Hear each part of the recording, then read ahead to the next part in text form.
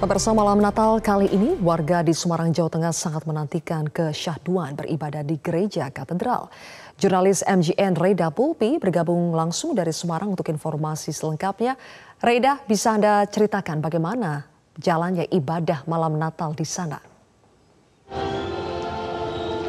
Iya Sylvia, meskipun hujan deras mengguyur kota Semarang, tapi tampaknya tidak menyurutkan antusiasme umat Gereja Katedral Semarang untuk mengikuti misa malam Natal secara langsung. Karena pada tahun kemarin ini masih dibatasi, namun pada tahun ini sudah 100%.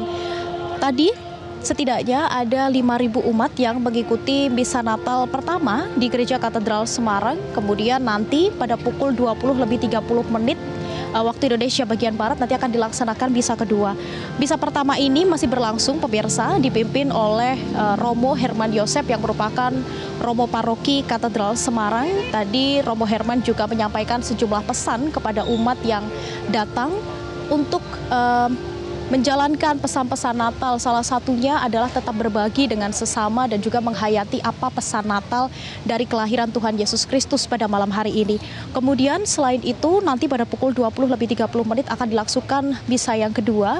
Ini uh, pada hari ini atau malam hari ini katedral ini menjalankan uh, ada dua misa, kemudian juga melakukan secara daring sehingga bagi umat yang tidak bisa mengikuti secara offline atau secara langsung nanti dapat mengikuti secara daring. Nah, Zilvia, selain itu untuk pengamanan sendiri di sini sudah ada pos pengamanan yang berdiri sejak tanggal 23 Desember lalu, kemudian ada setidaknya 25 personil TNI dan Polri yang bertugas untuk mengamankan keamanan di Gereja Katedral Semarang mengingat Gereja Katedral Semarang ini terletak di tengah kota, ada di dekat Tugu Muda sehingga uh, ini merupakan titik-titik rawan kemacetan. Tadi berdasarkan pengamatan kami memang sempat beberapa kali untuk jalan di depan gereja katedral ini sempat tersendat.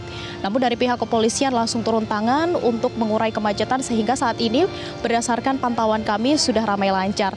Nanti untuk pengamanan juga akan terus dilakukan terutama saat uh, ibadah pertama ini usai dan nanti jelang ibadah kedua untuk menghindari terjadinya kemacetan. Kemudian untuk uh, misa Natal kali ini memang berbeda dengan tahun lalu di mana tahun ini sudah 100%, kemudian sudah tidak ada jaga jarak meskipun protokol kesehatan tetap harus dilakukan. Antara lain tadi sore ketika umat datang ini dicek barang bawaan, kemudian dicek suhu tubuh, diwajibkan untuk mencuci tangan terlebih dahulu serta harus menggunakan masker selama misa ekaristi malam perayaan Natal ini berlangsung. Ini bertujuan untuk mencegah terjadinya penularan COVID-19 usai misa Natal. Dan esok hari Sylvia juga akan dilakukan sejumlah misa Natal pada tanggal 25 Desember. Ada lima misa Natal termasuk misa Natal khusus Adiuswo atau lansia memang dilakukan beberapa kali misa Natal tidak hanya satu kali. Ini bertujuan untuk dapat menampung uh, seluruh umat yang memang pada tahun ini sangat antusiasmenya tinggi untuk mengikuti misa Natal secara langsung di dalam gereja. Dan untuk menghindari terjadinya penumpukan umat juga bahkan berdasarkan pantauan kami meskipun sudah disediakan sekitar 5.000 hingga 6.000 tempat duduk baik di dalam gereja maupun di luar gereja, masih ada sejumlah umat yang tidak kebagian tempat duduk dan harus mengikuti uh, secara daring sehingga ini membuktikan tingginya antusiasme masyarakat untuk mengikuti misa malam Natal secara langsung di gereja setelah dua tahun kemarin tidak dapat mengikuti secara langsung atau dibatasi.